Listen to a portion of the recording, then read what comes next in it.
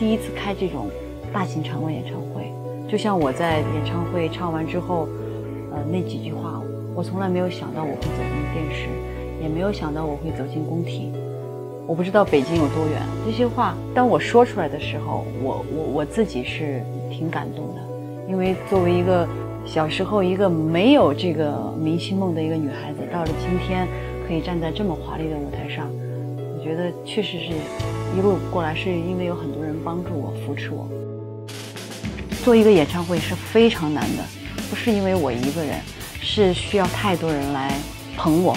不管是观众也好，还是。导演还是造型还是音乐部分，所以说其实压力非常大。再加上这个过程当中有那么多工作和一个最美和声，嗯，我还挺忐忑的。说实话，嗯，虽然我并不是一个刚刚出道的新人，但是正因为你有了一些认知之后，你相反没有那种勇气，会变得有一些畏首畏尾。但整个过程当中，是因为我们团队。因为音乐部门、造型部门，包括导演部门，他们一点一点的给我加分，所有的人，然后让我没有什么后顾之忧，让我在二十一号的晚上充满自信。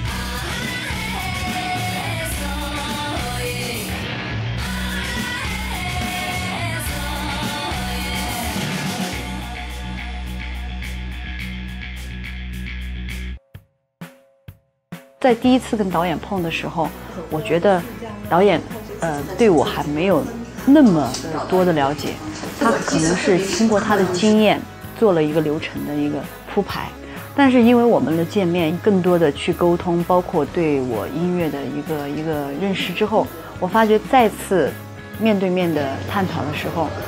整个流程包括所有的设计，真的就是完全属于我的，觉得这个是真的超乎我的想象。要也真的特别谢谢嘉平导演他们这个团队。你欠你欠我欠我好几年，你欠我欠我欠我好多钱。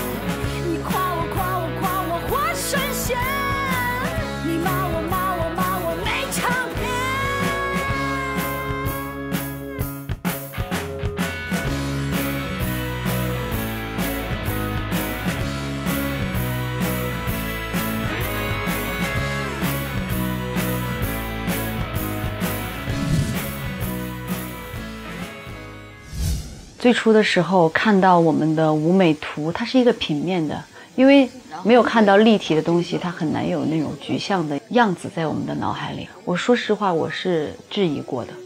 我跟英子姐说：“我说这个好看吗？啊，这个好像没有什么想法。”我确实有过这种质疑。但是波波灯呢，是因为我呃看过导演的一个视频，他根据音乐的情绪起伏，然后灯。在变换着他的情绪，我觉得首先这一点是特别吸引我的。我觉得他仿佛在音乐里又充满着生命，他不光是一个灯，这个特别吸引我。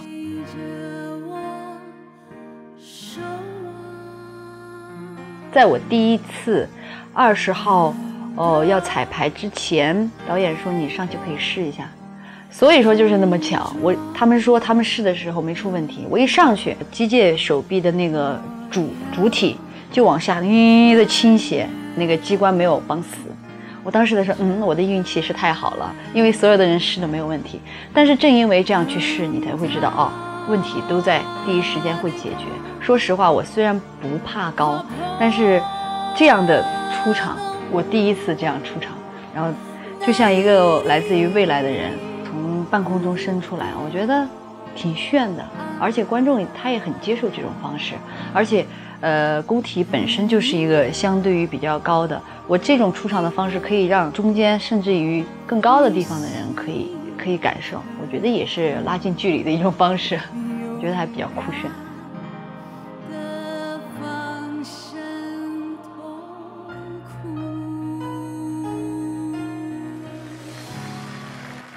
除了我们这个机械臂以外，其实，呃，还有三个复杂的升降台。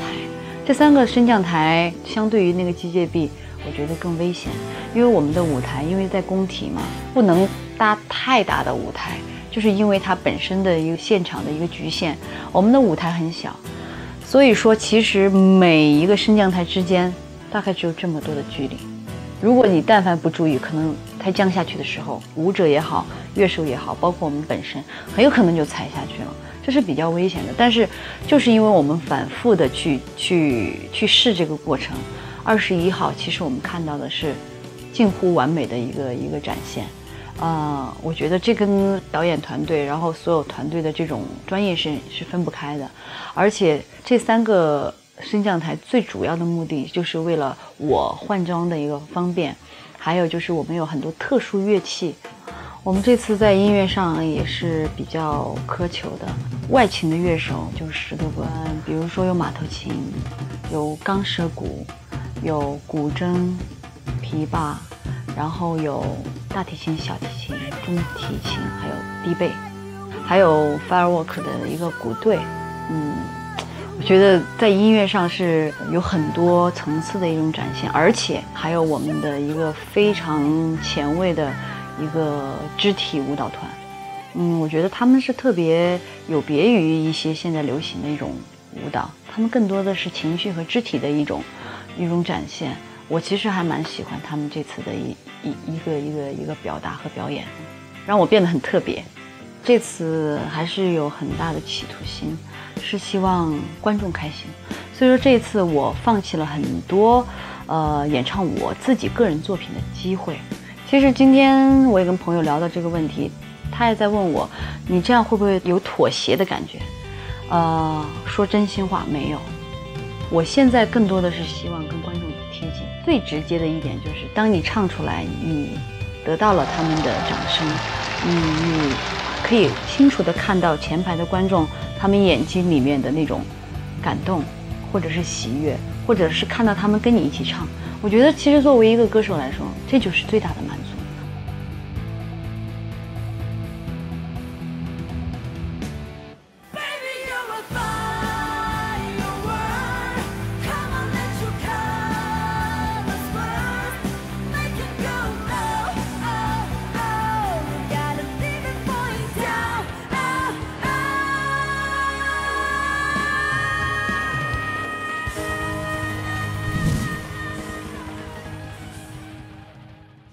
说到我跟音乐总监佳宁哥，我们其实就像真的像兄妹一样。嗯，四年前我们第一次开始在一起玩乐队，然后大家都抱有了很多期望和很没有边际的梦想。但是其实现实现实的过程当中总会不大如意，因为其实带乐队演出它并不是一件简单的事情。所以说我今天晚上也因为他对我了解，他对我的音乐了解，他知道我需要什么和不需要什么。那在这个过程当中，他也跟我介绍认识了，就是我们最终在舞台上呈现这几个音乐的这些新的音乐伙伴，像鼓手王楠老师，他是在在中国这个嗯摇滚鼓手里面的一个明星，我觉得他是一个音乐家，所以说我我我对他是非常尊敬的，包括宋宇。我们的吉他手，他也很会创作。然后，Bodo 是一个德国人，中国人中国话比德国话还说得好。他并不是特别习惯中国流行音乐或者是中国音乐的那种律动，但是为了跟我们一起玩音乐，他也放弃了很多自己的一些热爱，对音乐上的一个偏执。包括其实我们的那个 percussion，他叫 J.K。其实他是当时我是歌手里，我选择他来当我的鼓手，因为他对爵士 fusion 是这个没有办法，这是他们血液里流淌的，所以说他的律动非常棒。但这次我跟他说，我说啊非常抱歉，能不能你来做一个那个只是打击乐部分？他二话没说他就来了。其实他他的能力并不止于此。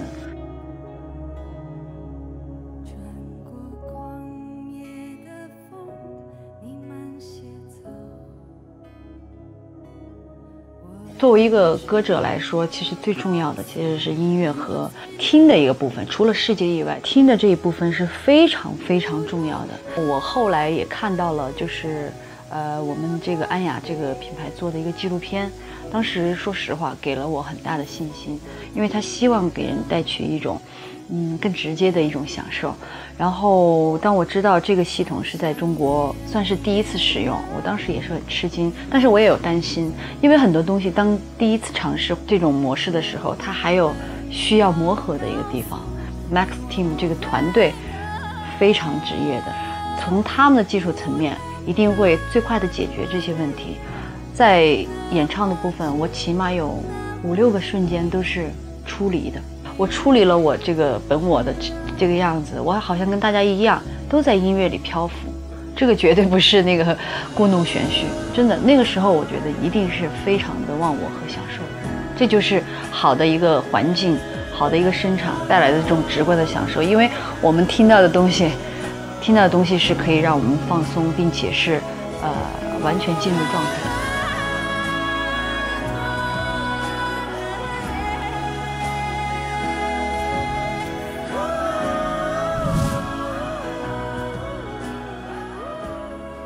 就像我今天再回忆起那场演唱会，我的脑子里还是不停的感觉我在换装，因为这个这个造型的部分太复杂了。每一次换造型，最多最最多的只有两分钟。因为我跟 Mix 老师在商量的造型的时候，他问我有什么要求，我说其实我不走光就行，然后可能不要太暴露，然后这是第一，第二。我觉得我希望它是有艺术感的，而且希望有一有一套服装我是打着光脚的。他当时就很懵了，他说：“那穿着鞋才好看，在舞台上才有那个范儿。”但是最后的造型呈现是最大化的去满足了我的。呃，到二十号凌晨三点钟的时候，我还在跟 Mix 老师沟通，我说：“老师，呃，我希望那个第四趴的时候能不能给我一种就是挣脱束缚的感觉。”最开始其实我们那个呃有一套服装是不会脱的，就一直要保持那种很酷很炫的那种状态。最后三点过，我跟老师商量，我说让我在雪地里撒点野的时候，真的让我撒点野，把衣服把所有的这些束缚都挣脱掉。呃，然后 Mix 老师在早上跟我新买了短裤和短的衣服，让我有这个这个环节的一个体现，而且我也看到了反响，嗯包括。呃，业内的很多反应，他们都觉得真的是非常的到位。然后包括蹦蹦老师，他做了三顶头饰和两个假发，而且最好的一个对我头发的一个解决方式是，基本上每一个造型都都做了头饰，因为这样可以避免我这个 这个这个头发，因为很不好解决。二十号的时候，其实琪琪姐也准备了很多喷枪，要往脸上喷不同的颜色。最后二十号，我们彩排完了之后，他还是还原了最最本真的那个我，没有在我的脸上画更多的呃颜色。他觉得这个人本身的特点才是最主要的，而并非我们把它画的多么的丰富。从这个组合来说，嗯，他们都是用心在做一个作品，艺术作品，而并非把我当成只是一个。歌手在舞台上唱个歌，然后穿个衣服就可以，既让我很自信，然后又让我自如。我觉得薇姐现在的状态应该是极度的亢奋，极度的激动。其实最开始为什么呃呃想跟极客有这个合作，是因为我曾经听过他有一首歌叫《阿杰路》。我特别感动，嗯，当时我还记得那个场景是泪流满面。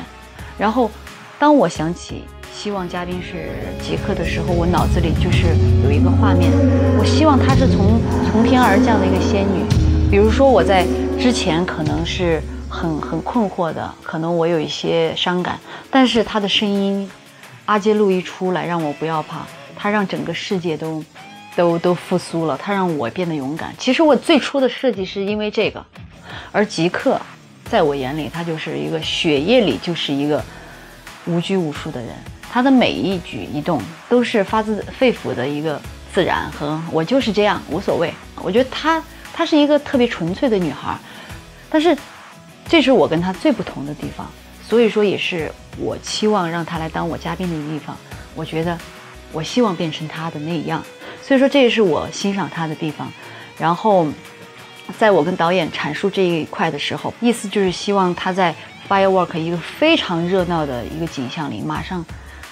就是你听到山谷的声音、流水的声音、鸟叫的声音，然后整个环境变成绿色，然后有一个自由女神或者一个太阳女神唱：“不要怕，我们的万物都不要怕。”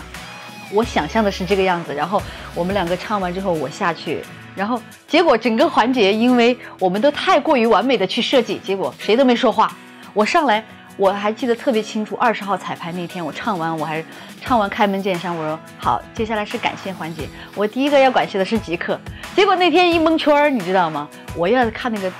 大大字幕，那个一屏幕，我就顺着那个屏幕就开始念，我就觉得很遗憾。我也很想跟吉克说，这个姐姐很抱歉。如果下次还有这个机会，真的啊，我我一定好好的给嗯做圆满了。因为去年的时候我也是在同样的地方，然后我跟每一个嘉宾，当时刘欢老师、杨坤老师，还有沙宝哥，我说你们一定要帮我多说一些话，我要换衣服。今天这个重任终于落到我身上。其实这个演唱会对于我来说有非常重大的意义，呃，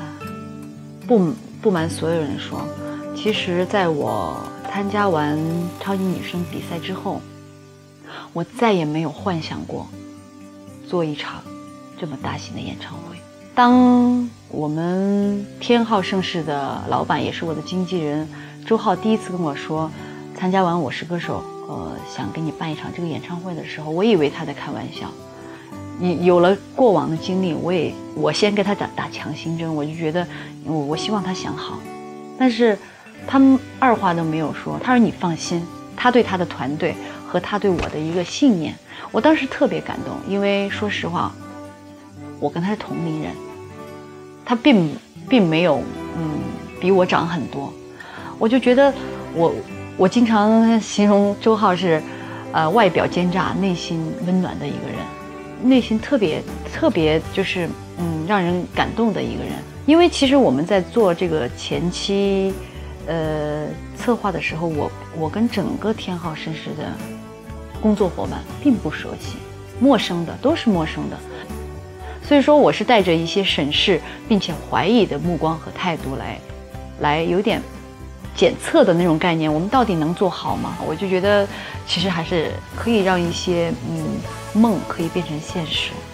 呃，虽然花了将近十年的时间才有这么一天，但是我也希望告诉所有的人，包括我呃跟我一起呃工作的这些人，我觉得只要你一直有一个信念感，相信你身边的人，让他们最大化的去发挥他们自己的才华，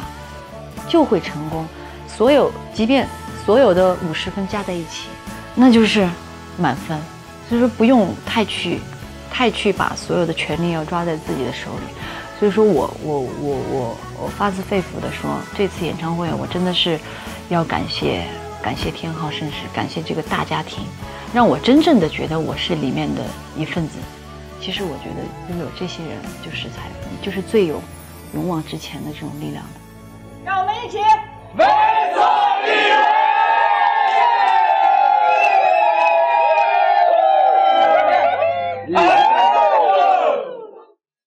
十年磨一剑，我觉得其实不长也不短吧。这一路一路过来，我为什么今天变成现在的我，是因为我身边的家人和朋友。那天来了很多我九年都没有见过的一些歌迷，这些都是在网络上的一些人物。然后以前从我超级女声完了之后，追随我，呃，追随我天南海北的去跑，现在都已经。成为人母，成为人父，他们都远远地看着我。我觉得，如果给我一个勇气，我不会喜欢一个人九年、十年，甚至更久，因为我不，我在这方面，我 我就觉得哪有那么哪有一个偶像的力量这么强大？但是其实我觉得他们没有把我看成偶像，把我看成他们的孩子，我看成他们的朋友或者姐姐。嗯，我愿意陪他们一起成长。我我也希望他们陪伴我一起成长，呃，唯一的就是希望在这个过程当中，我能给他们更多的正能量。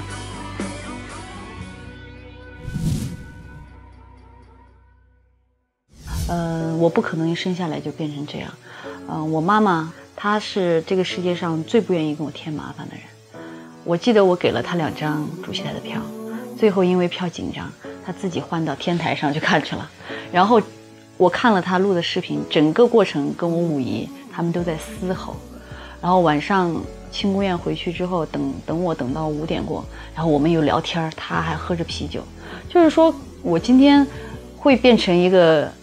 呃，如果有一些幽默感，如果是一个很逗的人，那是因为我妈，她也从来不给我负担，我觉得给了我一个最好、最合适的一个环境，让我变得很很舒服，这是我真正要感谢他对我的养育之恩。然后在这个过程当中，有很多朋友，像常石磊、石头，他们也是坐在山顶上，没有跟我带任何压力。呃，表演完了之后，丽阳给我发了个短信，他说：“维维，谢谢你给我那么好的位置，让我坐在主席台上看。”我想跟他说，因为我们是共同奋斗过来的一帮伙伴，我我请他们来，并不是呃炫耀我自己今天多么厉害，而是觉得我们每个人都不要忘记自己的朋友，不要忘记自己的出处，是这样的。所以说，还有很多没有来的朋友，请了很多朋友，他们。我回去看到他们都跟我留了言，都在鼓励和支持我。很多人，包括那一天，嗯，收到了很多鲜花和祝福。我觉得这也是给我，呃，给了我很多呃支撑，呃，让我觉得我做音乐是一件非常享受的事情。嗯嗯，我今天的选择是绝对对的，因为我也交了很多这些伙伴们，一些不离不弃的人。谢谢，就是谢谢每一个喜欢我的人和不喜欢我的人，因为你们让我变得，因为他们让我变得更美好。